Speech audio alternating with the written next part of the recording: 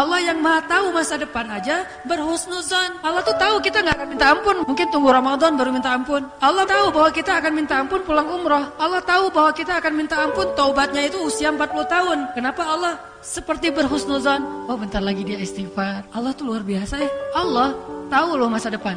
Allah tahu ada hambanya yang lagi berbuat dosa, taubatnya mungkin 10 tahun lagi.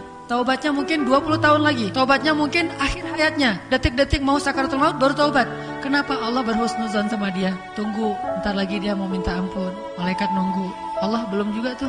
Tunggu aja dua hari. Allah udah dua hari, tiga hari, setahun, dua tahun, sampai akhir hayat. Pas dia bilang, Ya Allah ampunkan dosa saya. Tuh, lihat tuh malaikat tuh kan minta ampun kan? Allah gitu sama kita.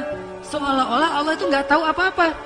Saking baiknya Allah kepada ham, hamba. Makanya Allah katakan wa ya'fu angkatnya. Sebetulnya Allah maafin banyak. Kita dosanya banyak dibalasnya dikit. Banyak dibalasnya dikit.